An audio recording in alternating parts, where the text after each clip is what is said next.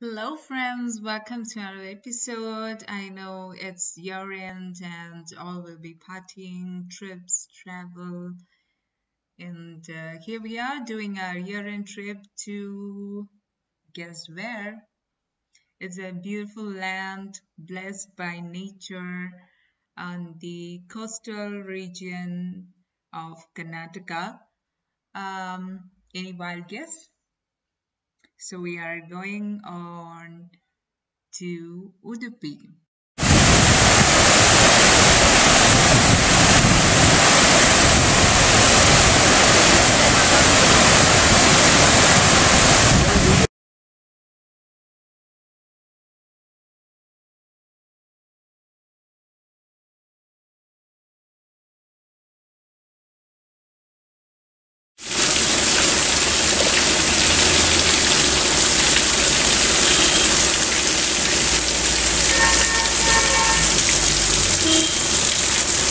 Here I have not added any extra sounds. That's the natural sound of the mountain stream.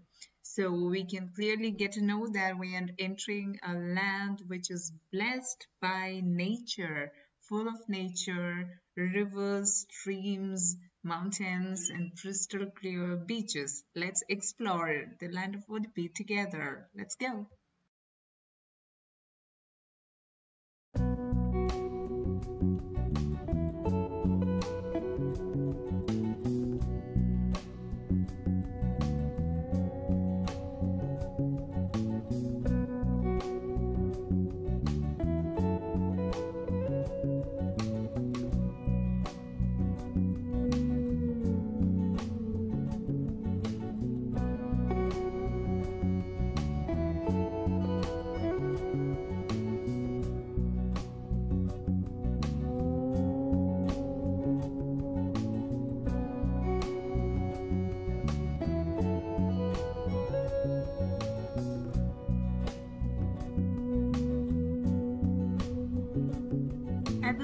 This arch, we are entering Udupi officially.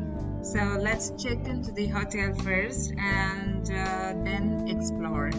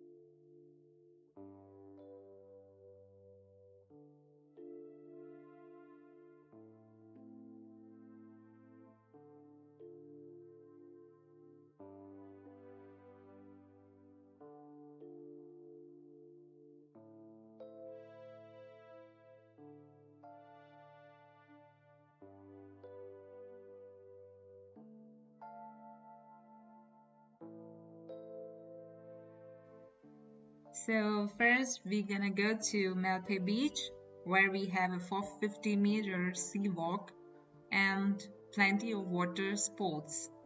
And it's a pretty crowded beach. Um, let's go there and find out more.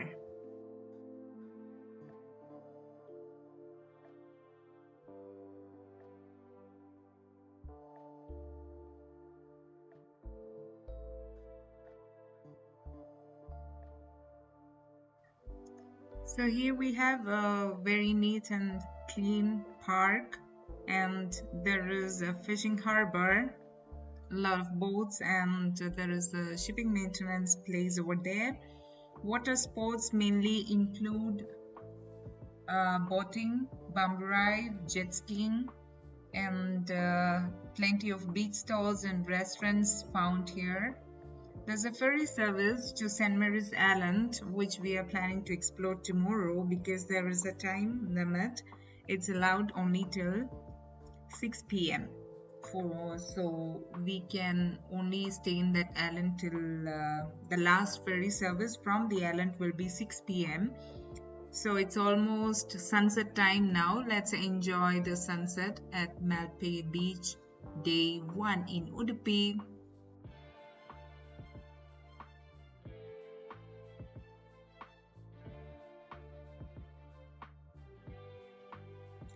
So here we are entering to the skywalk which is 450 meter long and uh, we can oversee the harbor. A lot of people come here to enjoy the pleasant weather and the sunset. Um, even we can bring the wheelchairs over here till the end of the sea walk. Some people are fishing over there. Uh, fishery boats are leaving the harbor and going to the deep sea beautiful sunset which uh, it's a picturesque view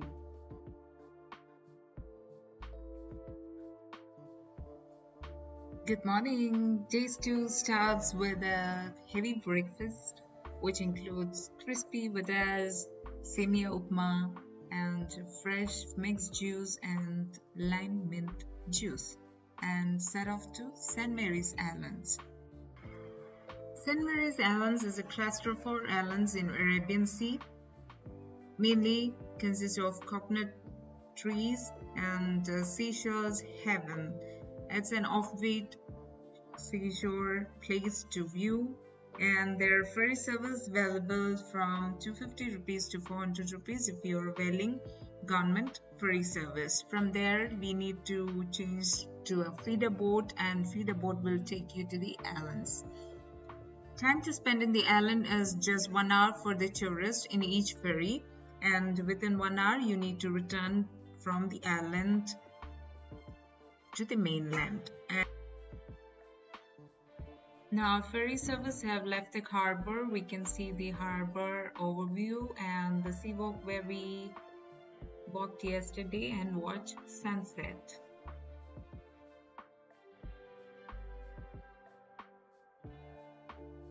It's about 10:30 a.m. now. Sea is very calm and we are moving out to the main sea. Nice breeze and waters playing some music to entertain the tourists. All of us have life jackets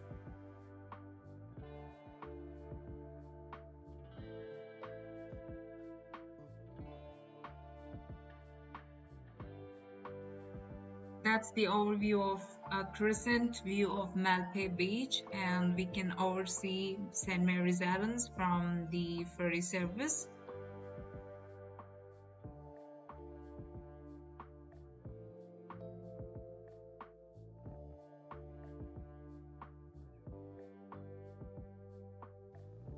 It's almost 20 minutes ride to the islands and mainly people visit here to see the rock formations and it's a seashell heaven. You will not find any sand on this beach. It's all broken seashells.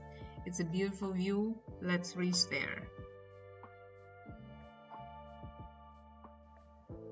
You can now see the feeder boats approaching the ferry service. Now the passengers will be taken from the ferry service to the feeder boat and feeder boat will take you to the islands. Ferry service will return to the mainland and come with the next set of travelers.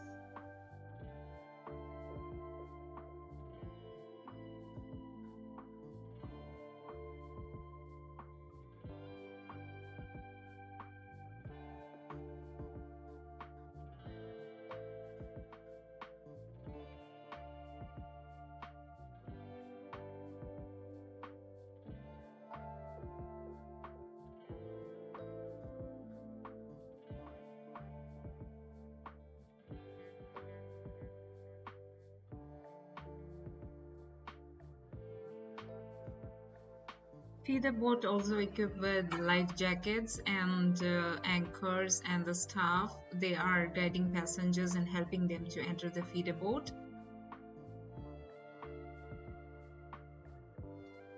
As you can see, the ferry service is moving away from the feeder boat and we are moving in the direction of the island.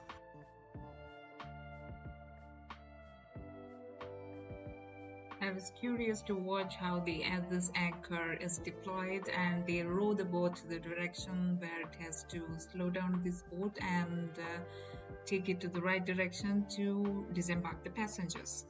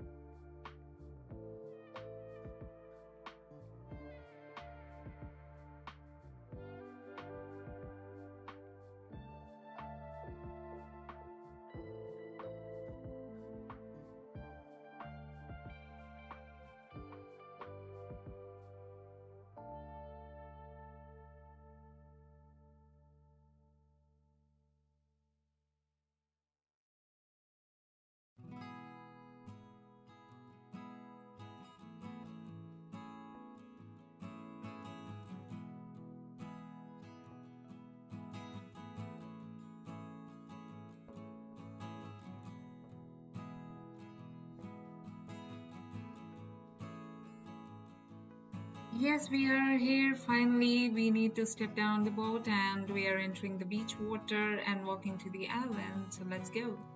Main rule of this island is no plastic, no food, no smoking, no alcohol. If you're carrying any of this, you need to give it to the guard. There is a counter and pay them for the storage until you return.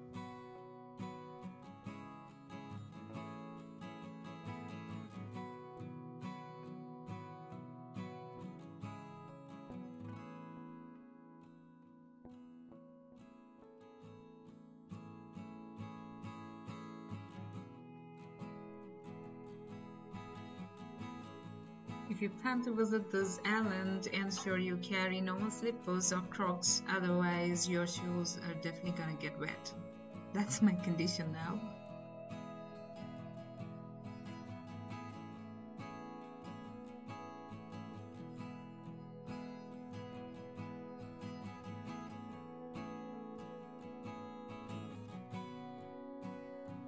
There are stall and uh, small restaurant and public toilets for usage and there's entrance. After that there is nothing empty. It's absolutely empty for the tourists to explore the island.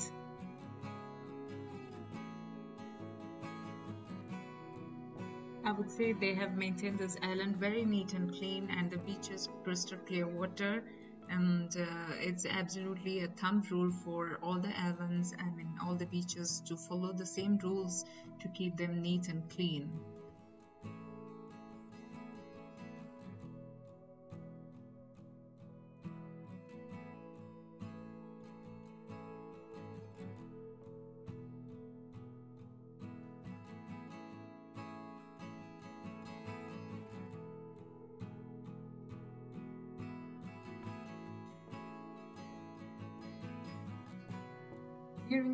We see a mangrove forest uh, slightly growing up and uh, the rock formations and slippery rocks. The rocks are very slippery here. If you're climbing these rocks, which is mainly not allowed, guards are there to restrict you and signboards are there everywhere. No swimming allowed in the sea. It's a rough sea over here and uh, yes, seashells all over you when you're walking. Please ensure you don't slip and fall, otherwise it could damage your skin.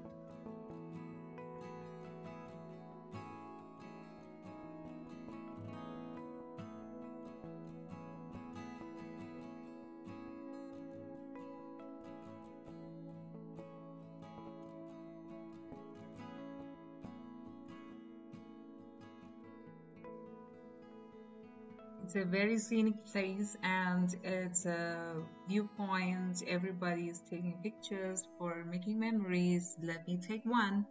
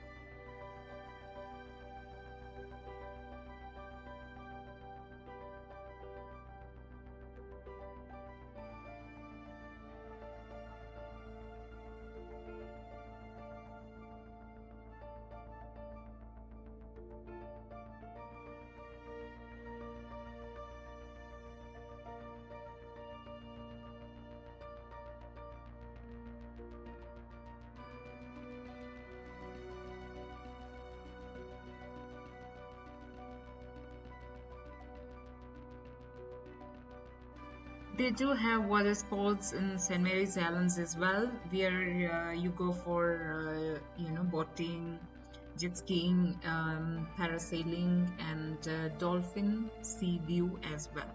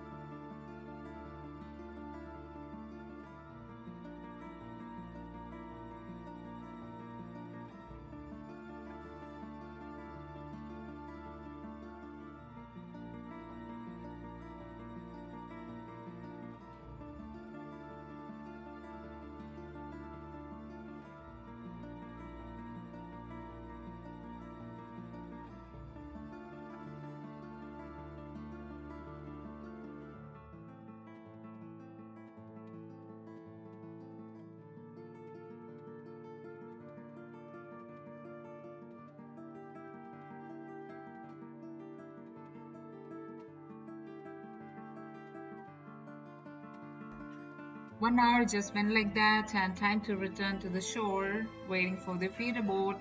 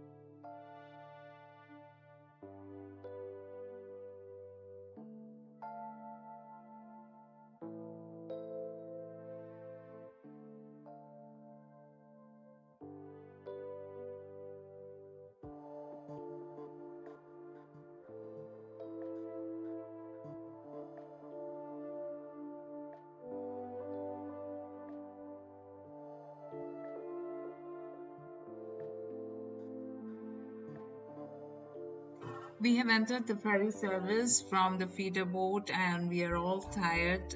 Uh, it's almost 12 pm now. So let's go back to the mainland.